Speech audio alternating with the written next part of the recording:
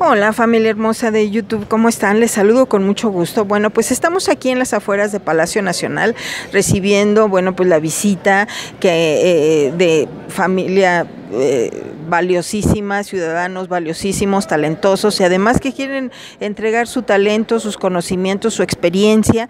Y fíjense que tenemos aquí a alguien muy interesante. Es un eh, licenciado en economía y fíjense que él eh, hizo una tesis especial sobre la globalización, causas y efectos, el caso de México de 1982 y 2008. Entonces, esta tesis refuerza mucho de la política económica que está realizando el señor presidente y que, bueno, a algunos les ha causado, pues, alguna, este, comezón, ¿verdad? Porque, pues, es cambiar el modelo económico. Lo está haciendo ya el presidente, incluso constitucionalmente está logrando ya estos cambios. Pero, ¿qué creen, familia? Todavía hay mucha oportunidad de hacer muchas cosas eh, a favor de México a través de este cambio y de paradigma en cuanto a la economía nacional. Entonces, bueno, aquí el profesor eh, es el profesor Em, su nombre. Raúl López Sánchez. Ok, es el profesor Raúl López Sánchez. Él es, también ha dado clases en universidades de México. Y bueno, vamos a, que él nos aclare un poquito qué es esto de la globalización, por qué tuvo las consecuencias que está teniendo, los efectos en las economías, en este caso eh, enfocado en México, y cómo ve usted la economía que ahorita está aplicando o el modelo económico que está aplicando el presidente? Bueno, la globalización es básicamente el, punto final de lo que es la teoría neoliberal.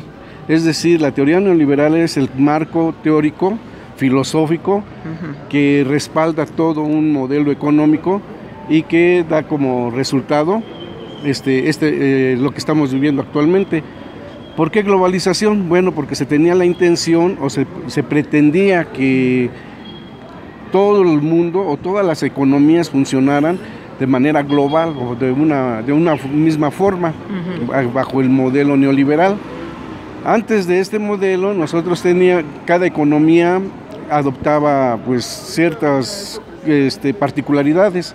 Digamos, México durante bastantes décadas eh, tuvo una economía mixta, mientras que otros países pues tenían una economía, digamos, socialista, u otras economías era, estaban totalmente, eran agrícolas o muy, etcétera, ¿no? Estaban, eh, era, era una eh, distinción muy, muy clara entre las economías durante ese eh, tiempo. Profesor, para enganchar aquí al público, este, yo tengo una idea de la globalización para que la gente también sepa qué es lo que pasó con nuestras economías. Destruyeron mucho de las sociedades. No funcionó este modelo económico, que es lo que quiero que el profesor nos explique, independientemente de dónde venimos o, de dónde viene, cómo se aplicó. Este modelo está completamente acabado. Este, o sea, y ya reconocido, no nada más en México por el presidente Andrés Manuel López Obrador, pero ¿qué creen familia? Creo más pobreza, más incluso hasta indigencia en muchos países. En Estados Unidos hay ciudades completas que ya son ciudades fantasmas porque se sometieron a este modelo globalizador. Desgraciadamente en Estados Unidos, que fue donde nació de alguna manera, también echó a perder mucha de su, de su planta productiva familiar. Ahorita, o vamos a ir platicando porque creó mucha pobreza. Entonces, eh, esto para que la gente sepa eh, eh, por qué estamos tan pobres, por qué no crecemos, por qué nuestro, nuestro México está tan rezagado, porque este modelo económico ya no funciona ni aquí, ni en China, ni en Estados Unidos, ¿no? Bueno, para ir enganchando a la ciudadanía para que este pues vayamos conociendo hacia dónde va México. Claro, mire, este la, globalización, como les digo, o como repito, este es el, punto final o es hacia donde se dirige toda teoría neoliberal. ¿Cómo se enganchó México a este modelo? Bueno, este, quienes sirvieron de laboratorio para la economía neoliberal fueron, fue Chile. Ah. Ahí fue donde se fue el primer ensayo del neoliberalismo, después de del asesinato de, Allende. Eh, todos los Chicago Boys o los que habían mandado a estudiar a Chicago con Milton Friedman regresan a Chile y, este, y crean un modelo para que se, se empiece a funcionar como un experimento este, el neoliberalismo. Posteriormente ese, e, ese modelo se copia en Brasil, en Paraguay y pasa ya después en la, hacia, hacia este, Estados Unidos, Inglaterra Incluso también abarca a Rusia, porque la caída del muro de Berlín se debe también a esa avalancha que, creó, que se creó a través del, modelo neoliberal. Es decir, fue una cuestión como de moda, mm. en donde todos los países querían ser neoliberales. Pero ¿cuáles son las particulares del neoliberalismo? Obviamente quienes más se beneficiaban y se beneficiaron del modelo neoliberal fueron los países pues, más poderosos, Estados Unidos, Inglaterra, Francia, etcétera, muchos países que... o eso pensaron, ¿no, maestro? Pensaron que se iban a empoderar, pero les, se les volteó el chirrión por el palito. Pero mientras, mientras, mientras que el, modelo neoliberal funcionó, se, se, beneficiaron bastante, mientras que otras economías como México y, y algunas otras más este, Argentina, cómo está otra vez, ¿no? Este, pues quedaron en la calle, ¿no? Entonces, bueno, fueron total, fueron más afectadas. Entonces ya este, eh, ¿en qué consistió este modelo? Bueno, pues se demostró y se vio que realmente el modelo neoliberal es un modelo de rapiña es un modelo que basa todo su funcionamiento en el despojo y este despojo solo, solamente se puede dar mediante actos corruptos, es decir, solamente puede hacerse con, el, con la participación muy activa del Estado, en complicidad con los empresarios. Esa era una de sus características. Esa es la característica fundamental. Por eso, mientras que... Beneficiar a unos cuantos. Exacto. Por eso la entrega de todos los bienes naturales y este, de, los países a las empresas. México contaba, era un país muy soberano en, todas sus riquezas, pero sin embargo con, este, con Salinas de Gortari, que es el que empieza a destruir toda la economía que se traía desde eh, Miguel Alemán, bueno, pues entonces ahí se empieza a distorsionar todo porque empieza a entregar Telmex, empieza a entregar este, otras este, industrias paraestatales, muchos recursos naturales a la empresa eh, privada que es todo lo que nos ha platicado el presidente, ¿no? ¿Y, que diario, todas las mañaneras, bueno, él repite y vuelve a repetir, ¿no? Que era una economía de rapiña para beneficiar a unos cuantos. Sí, en efecto, nada más. ¿Y qué es lo que hacían estas, estos capitalistas? Pues destruyeron todas las, todos los recursos, eh, más que aprovecharlos, los, los, destruyeron porque bien aprovechados estos recursos pudieron haber generado riqueza y empleos bien pagados, pero a ellos eh, lo que les interesaba era más que nada la, economía este, de especulativa. Todo esas empresas que le daba el gobierno las sometían en la casa de bolsa o en las casas de valores y de las cuales vendían acciones o bonos y de ahí especulaban y hacían subir, bajar, etcétera y tronaban a las empresas. esto. y obviamente pues la planta productiva, los trabajadores no les importaba familia, les valía un gorro, eh, las prestaciones de los trabajadores, los salarios de los trabajadores, eh, proveerlos de mejores condiciones de, de trabajo, no les importaba, no eran empresas socialmente responsables. Claro. Eh, son unas, eran unas empresas muy voraces. Exacto. Y obviamente. Codiciosas. Obviamente todo esto creó un hartazgo, creó una, una forma muy este, dolorosa para la población, eh, digamos en particular México, que, se, que se vio o que da muestras en, las votaciones. Es decir, eh, no pudieron en esta ocasión eh, la, forma en que salió la gente a votar, pues obviamente no dio lugar para que se volvieran a, repetir los fraudes anteriores. Entonces... lo que, lo que sucede aquí es que... ¿Qué, qué, economía está aplicando ahora el señor presidente? Mire, ahí, ahí voy. Este, bueno, gracias a esa, al, al, pueblo está Andrés Manuel López Obrador en el poder, que es una persona muy sensible. Yo lo veo una persona con muchos este, eh, rasgos este, humanitarios que realmente se le debe de reconocer, pero una economía debe de tener un marco teórico, conceptual, bien definido ¿Qué es lo que el profesor ofrece, verdad? Y que ha venido aquí a, Palacio Nacional a visitar para que exponer su teoría, ¿no? De que hay que darle una, un marco normativo, una estructura, la nueva economía que está realizando el señor presidente. ¿Qué es lo que se apega más a lo que está queriendo el presidente? Y yo no me, no sé, yo eh, lo considero una persona muy inteligente y, entre, y muy lectora, ¿no? Yo pienso que entre sus lectores entre sus lecturas que ha hecho, ha revisado probablemente ya a este... los economistas, pero, hay uno, hay, uno, hay, este, hay un economista muy, se me acaba de ir, el economista eh, que, pues, realmente es el autor de la economía mixta. Él es el que, eh, ¿cómo se llama? Bueno, esta persona, dentro de su economía mixta, él establece que realmente la economía debe funcionar tanto con el sistema privado como con el público, pero el, sector público, o más bien el gobierno, debe de ser el regulador de la economía, no el mercado, que es la diferencia entre, eh, eh, entre, este, entre esta corriente, que le digo de la economía mixta, y, lo que está proponiendo Andrés Manuel López Obrador.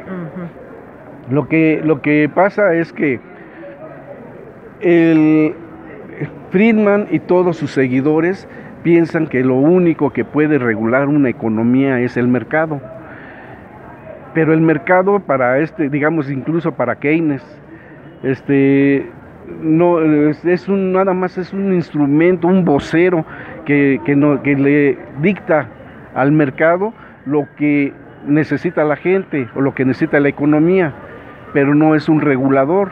Sin embargo, los, los, neoclásicos ponen al mercado como el regulador de la economía, es decir, en donde todas las demandas, todas las necesidades, todos los sentimientos y todo lo que sea, se le entregan al mercado y el mercado se encarga de resolverlos. Ahora, eh, eh, eso bueno, ya sería ver eh, este, ah. el manejo. Se llama Kalecki, Michael Kalecki, ah, el autor. Perfecto. Este, pero ahorita eh, escuchándolo antes de que empezáramos eh, la grabación, usted hablaba de que el presidente está haciendo una mejor distribución de la riqueza o cómo cómo fue la definición pues, que hizo. Pretende hacer una mejor distribución de la, de la riqueza. de la riqueza en, todos los sentidos, o sea, en territorio, en eh, económico, en, en tu como recaudador de impuestos repartir esa riqueza ¿O a qué se refiere, maestro, en este sentido? Bueno, la, repartición de la riqueza se da a través, digamos, de, por el, en el salario. Una, si, si, un país produce mucho y, obtiene una, una, unos ingresos fabulosos a través, ya sean impositivos, productivos o de cualquier índole, esos, esos recursos deben de distribuirse en la sociedad a través de sueldos, salarios, este, mercancías, etcétera. Entonces, de esa manera hay más dinamismo, hay una economía más dinámica, más que, que está este, continuamente evolucionando. Si le dejamos todo al mercado, el mercado ya vea, este, muchos países quedaron estancados y lo únicos que se convirtieron fueron en consumidores, pero nada y de innovadores. Pues como nosotros, ¿no? Exacto. México fue es un país consumidor, no hay innovación para hacer tecnología. Sí, exacto. Y muchas consecuencias que trae la, la globalización se ve ahora con la lucha que se está dando, otra vez queriendo arrebatar los recursos naturales, ¿no? Yo quiero, antes, haciendo un paréntesis, miren, qué es lo que está sucediendo ahorita y todo esto que, que están, que están la gente esté enfocada, que, que la intervención con, que, que, la intervención a México porque no puede con la seguridad, que todo eso está planeado, todo eso viene eh, este, creado por el vecino del norte. ¿Con qué finalidad? Con, una, con la finalidad clara, precisa de invadir México. ¿Por qué? México, en su cuenca de Burgos, cuenta ahorita con yacimientos de litio, que ahorita es el mineral más este, eh, codiciado por las empresas tecnológicas, eh, porque ahorita la tecnología en celulares, en computadoras, en autos, etcétera, están teniendo mucho auge y eso constituye una, una gran ambición. Ahora, eh, maestro, estas este eh, intento de dominar a, a, los pueblos ya no se hace como antes de territorial, sino comercialmente. ¿A eso se refiere? Eh, no, no. Ahora, bueno, la, la, digamos la comercial es una forma suave, también de amable, invadir, amable de invadir y de apoderarse y de, de una controlar y de controlar. Ajá. En efecto, pero la invasión que están buscando es militar, o sea, quieren apoderarse del territorio, digamos, de la cuenca de Burgos, en donde encuentran los yacimientos de litio, en, en Sonora. En Sonora. En Sonora, entonces allí, allí están los yacimientos de litio y ahorita Estados Unidos por eso están visionando toda esa parte. Bueno, hay ese peligro. Y ahora, uh -huh. ¿qué está pasando en Bolivia? Bolivia también es el, es el país con mayor cantidad de, de reservas en litio. Por eso, por eso la codicia y sacaron a Evo Morales para, para apoderarse del litio. ¿Qué está pasando en otros países? Ahorita el litio es una, es una gran tentación para los países imperialistas. Claro, y que no hay México, que perder de vista, sí, ¿verdad? Y entonces, ahorita ah. nosotros nos quieren desestabilizar para hacer creer que realmente el gobierno no puede o no, no es capaz de llevar a cabo una, de llevar una economía.